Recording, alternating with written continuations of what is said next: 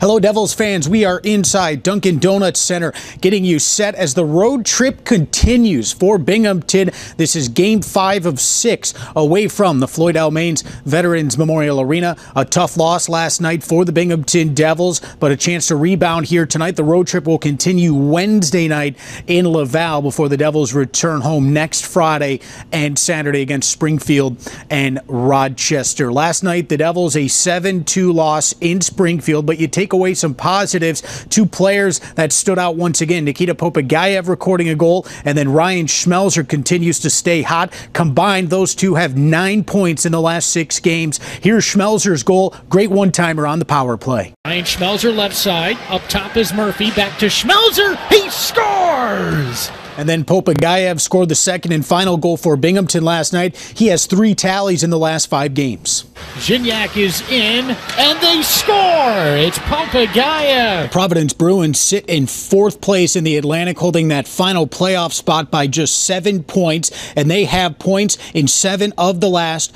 nine games. Let's take a look at the team by team comparison here between the Devils and the Bruins with a victory last night for the Providence Bruins. Bruins. They advanced on the season to 33, 22, 8, and 3. Again, as I said, fourth place in the Atlantic, 77 total points, and in their last 10, 5, 2, 1, and 2.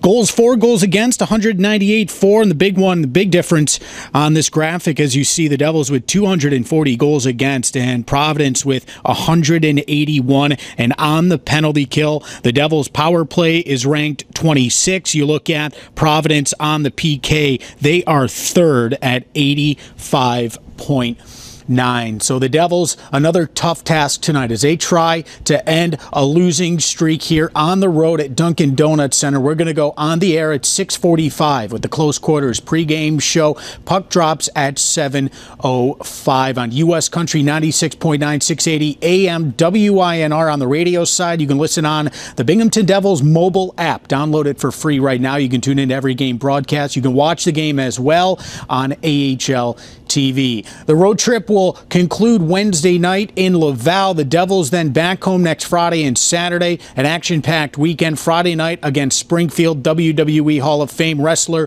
Mark Henry is in town. You can get a special VIP pack for that and attend a special meet and greet prior to the game to hang out with Mark Henry. Then the following night, superhero night. Get a Devils cape when you purchase a superhero pack. You can come dressed as your favorite superhero. We'll have them on the concourse as well. So two big games coming up. Just four home games left for the Binghamton Devils. If you have any questions, just text the word tickets to 607 722 7367 seven. A lot of healthy bodies back for the New Jersey Devils, so we'll see what that means here for Binghamton. From Providence, Rhode Island, inside the Dunkin' Donuts Center, getting you sent for tonight's 7.05 puck drop. I'm Rob Lapolis.